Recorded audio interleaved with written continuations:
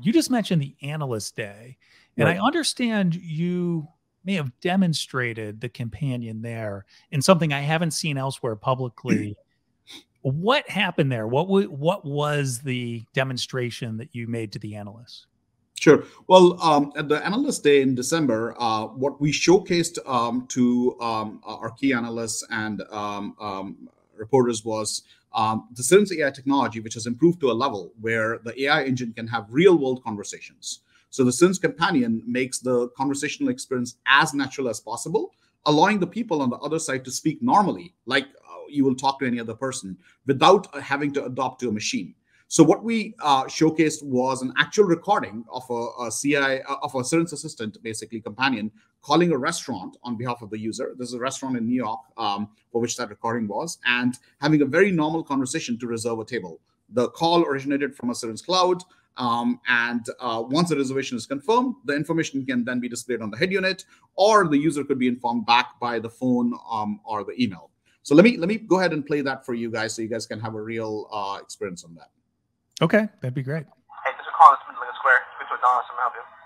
Hello, I'm the Cerence companion calling on behalf of Brian to make a reservation for today at 9 p.m. Brian at 9 p.m. How many people? Yes, 9 p.m. How many people? Um, there will be two of us. Okay. This is actually really cool. I don't know. And um, the phone number, please? You can use 407 900 5141. Got you. 407 90. Can you repeat that, please?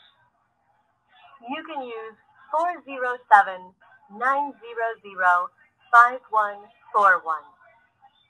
Got you. And the name? It's Brian Rubin. Brian Rubin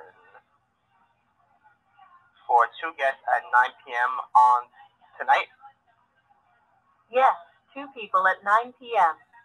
Inside or outside? Anywhere in the dining area. Got you. All right, you're good to go. Wonderful. Thank you for your help. No problem. So, so as you could see in this uh, uh, audio um, recording, it was a it was a real recording, as I said, uh, with a restaurant in New York. Um, the the person on the other hand did knew that it was talking to an assistant at first, right? So when the, re- the real reaction that oh cool, um, uh, it's an assistant on the other side, right. Uh, a voice assistant that he's talking to was was very natural. But at the same time, uh, what you might have also observed is that um, the companion now, uh, when it repeats the thing, like for example, in the phone number, when the user only heard half of it, um, uh, the person on the other hand, it actually repeated the phone number again, but put more emphasis on the last four digits, which the person didn't get, right? So the companion is not only just um, uh, engaging in a conversation, but also trying to understand what the other user's emotions and the context is, uh, and can accordingly parse the information and, and uh, present back to the to the user what the user really needs to synthesize and take right so that's another key thing um, as a part of the companion as the the using the ai uh, and deep learning where the systems are becoming much more natural in not only just con- conversation but also pre- presentation of the information uh, back to the user in real time